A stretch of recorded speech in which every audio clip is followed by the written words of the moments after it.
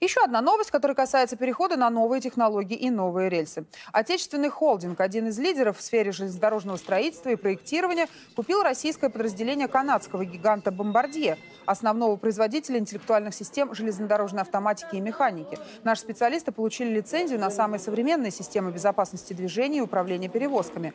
Все компоненты будут производиться в России. Это позволит создать тысячи рабочих мест и к тому же избавит от зависимости от иностранных поставщиков.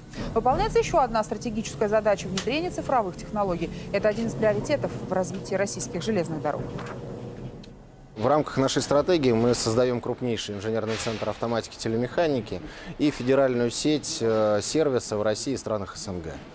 Мы получаем с этой сделкой э, доступ э, к экспортным рынкам и уникальным технологиям модернизации железнодорожной инфраструктуры. Во-первых, это безопасность. А во-вторых, это точность работы инфраструктуры, сокращение интервалов, выполнение графика движения поездов.